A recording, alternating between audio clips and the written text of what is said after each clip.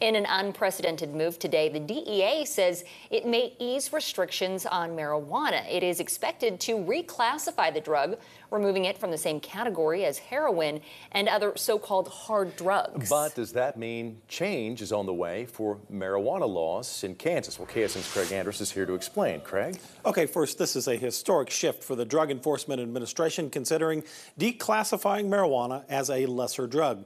But even if it happens, the move would have to be considered by the White House on the federal level. If it happens, don't expect legal marijuana everywhere. It is still illegal.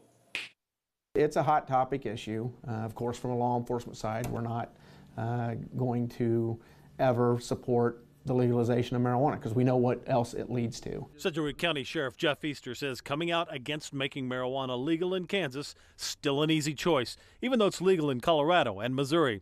It is being sold here in Kansas. You know, when we find pounds of it, I mean, it's black market stuff that's coming here to be sold on the streets. He also says it's the strength of the marijuana being sold on the streets that's concerning, with extremely high concentrations of THC.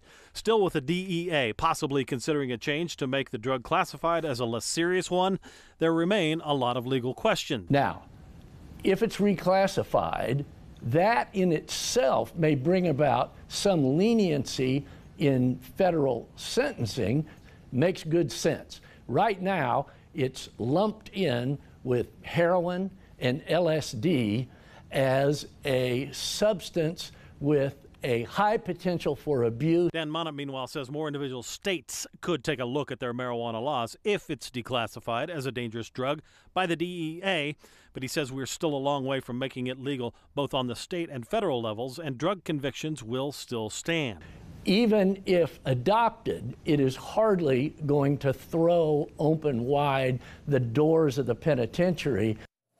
Also, this is a potential federal reclassification with the DEA. It's not a done deal yet. Still, this does represent a big shift from the stance taken for years by the DEA. Here for you, Craig Andres, KSN News 3.